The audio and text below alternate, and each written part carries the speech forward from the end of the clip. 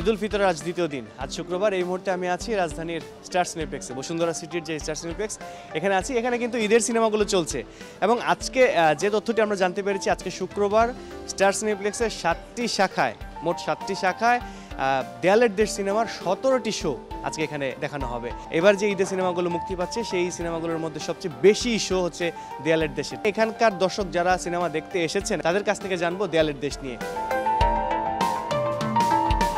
আমরা দেয়ারে দেশ দেখব। শরীফুল রাজকে আমার অনেক পছন্দ।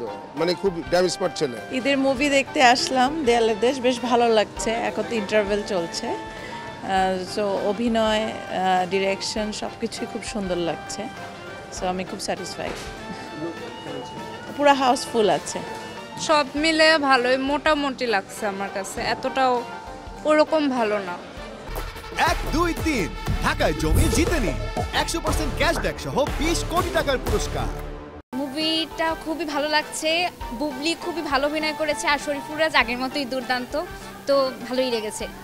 রেটিং জানতে চাই out of ten eight point five বুবলির মেকআপ মনে হয় একটু বেশি মনে হয়েছে। আর একটু মানে চরিত্রের সাথে মানানসই হওয়ার জন্য আরেকটু কম দেওয়া উচিত ছিল। আর চোখের লেন্স পড়েছে এটা করা উচিত হয়নি আসলে।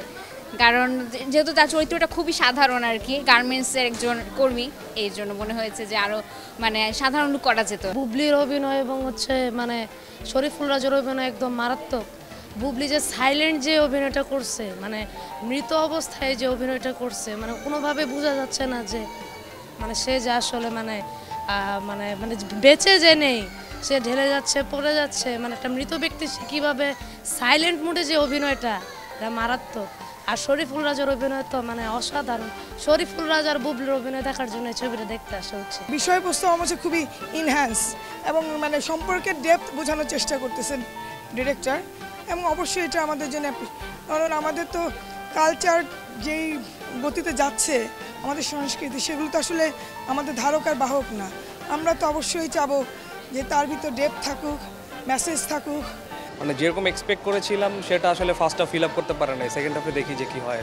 বুবলির অ্যাক্টিং অনেক ভালো লাগছে আমি কখনো দেখি নাই ফার্স্ট দেখলাম। ভালো অ্যাক্টিং করে ন্যাচারাল বুবলির অ্যাক্টিং ভালোই লাগছে আর শরীফুল রাজের অ্যাক্টিং অ্যাক্টিংও ভালো কিন্তু অতটাও ভালো লাগে নাই।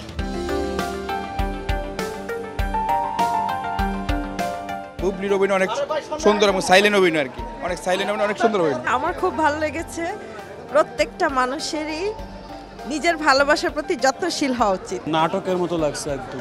টেলিফিল্ম। দেয়ালের দেশ। নাটক নাটক। এক দুই তিন। ঢাকায় জমি জিতে নিন। একশো পার্সেন্ট ক্যাশব্যাক সহ বিশ কোটি টাকার পুরস্কার। হুবলির অভিনয় খুব মারাত্মক ছিল। পরিবার নিয়ে দেখার মতো ছবি? হ্যাঁ হ্যাঁ হ্যাঁ। সকালে দেখেছি রাজকুমার এখন দেখলাম দেয়ালের দেশ। দুইটাই দুই ধাঁচের। দুইটা দুই ধাঁচের সুন্দর। হ্যাঁ। বুবলিকে ওদেরকে খুব ভালো লেগেছে। ওই যে আর সাকিব খানকে ওই মেয়েটার সাথে খুব ভালো লেগেছে। এই নতুন কর্টিক অফিস সঙ্গে? হ্যাঁ খুব ভালো লেগেছে। রেগুলার সিনেমা দেখে? হ্যাঁ আমি দেখি। ওদের অ্যাক্টিং খুব ভালো লেগেছে আর ওভারঅল মুভিটা হ্যাঁ ভালো ছিল। সবচেয়ে যেটা ভালো লাগল যে পাওয়ার আনন্দের চাইতে না পাওয়ার বেতনটা অনেক মধুর। তবে আমরা পাইছি এটা সবচেয়ে আমার লাকি তবে না পাইলেও আনন্দ অনেক। কেমন দেখেছেন? খুব ভালো ভালো লাগছে ভালো খুবই ভালো লাগছে। কত বছর পর হলে আসছেন? প্রায় বিশ বিশ বছর বড় হলে বিশ বছর? বিশ বছর বিশ বছর পর? আচ্ছা কেমন দেখলেন? আমার খুব ভালো লাগছে খুবই ভালো লাগছে। আবার আবার কোনো সিনেমা দেখার ইচ্ছা আছে? আবার দেখি না এটাই দেখবার পাওয়ার চেষ্টা করব ভালো থাকবেন। আমার তো ভালোই লাগছে প্রচুর ভালো লাগছে। আমি তো বাংলা সিনেমা দেখি না অনেক দিন হওয়ার পরে এইটা দেখতে আসছি। বুবলির ছবি কোনোদিন দেখা হয়নি এক্সিলেন্ট। একদম লাশের অভিনয় করা কম কথা না কারণ নিঃশ্বাসের সঙ্গে চোখের এই নাটাটা নড়ে।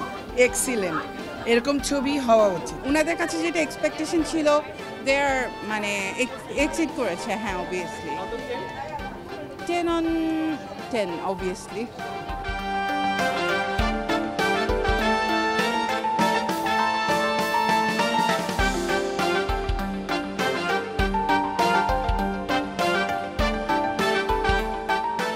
যেমনটা শুনছিলেন, দেয়ালের দেশ সিনেমাটি দেখে যারা বেরিয়েছেন, তারা কিন্তু রাজ আর বুবলিতে মজে ছিলেন দর্শকদের কথায় আমরা সেই প্রমাণটি পেয়েছি এবং তারা বলছেন যে এরকম ছবি আরও হওয়া দরকার। অনেকে নির্মাতা মিশুক মণিকে ধন্যবাদ জানিয়েছেন, এটি তার প্রথম সিনেমা। আগামীতে নতুন কোনো সিনেমার দর্শক প্রতিক্রিয়া বা দর্শক রিয়াকশন আপনাদেরকে জানাব। ততক্ষণ পর্যন্ত আমাদের সাথেই থাকুন।